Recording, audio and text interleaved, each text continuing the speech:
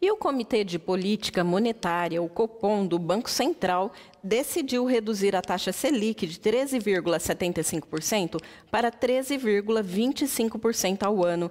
A redução era muito esperada pelo governo federal e mercado financeiro. Saiba mais com o professor Moraes.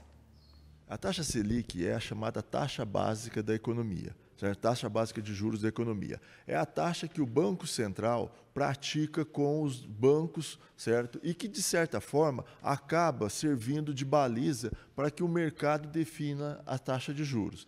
No, a, chama Selic porque chama Sistema de Liquidação e Custódia. Mas esse nome não importa, é a taxa básica de juros, é assim que, que ocorre, é assim que ocorre em todos os países. É, essa taxa determina todas as outras taxas relacionadas a financiamentos, é, é, é tudo em, que crédito gira em crédito em geral. Isso. Na realidade, ela serve de base. É. Então, a partir dessa taxa é que o, os bancos comerciais elas definem as outras taxas que é são praticadas no comércio, no mercado em geral. E essa taxa, ela altera, vamos dizer assim, de quanto em quanto tempo?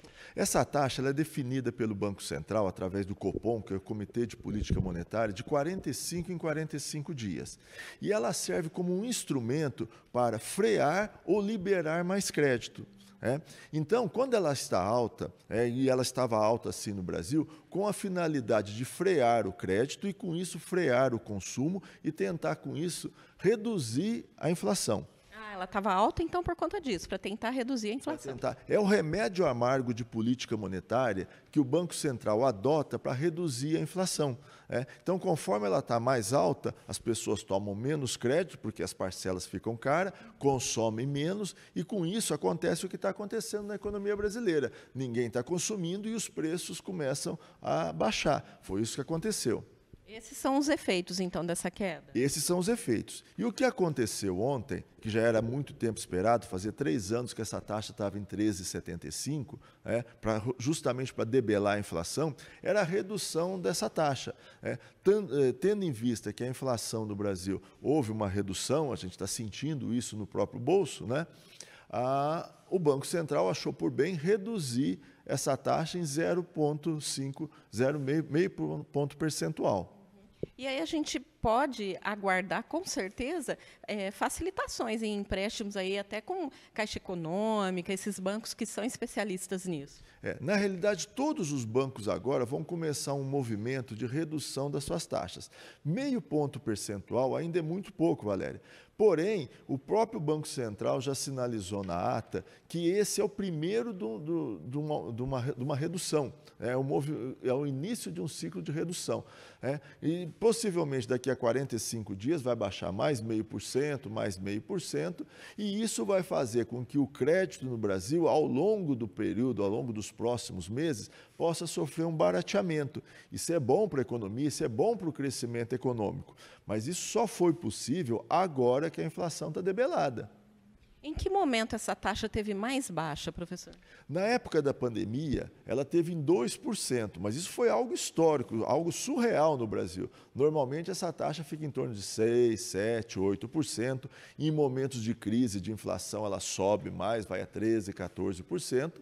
E em momentos que a inflação recrudesce, que ela baixa, ela tem espaço para reduzir para 6, 5%. É, a previsão é que esse ano ela, ela ainda termine alta, ela ainda termina em torno de 12%, que é um índice ainda bastante elevado e não vai ser capaz agora da gente sentir muito isso no crédito, ao comprar um automóvel, comprar um eletrodoméstico, ainda é muito pouco, certo? Mas já sinaliza algo positivo, já sinaliza uma tendência de queda e, principalmente, é, ela demonstra que a economia brasileira está começando a entrar num caminho de normalidade, de queda da inflação e de perspectiva de crescimento econômico. Então, isso é positivo.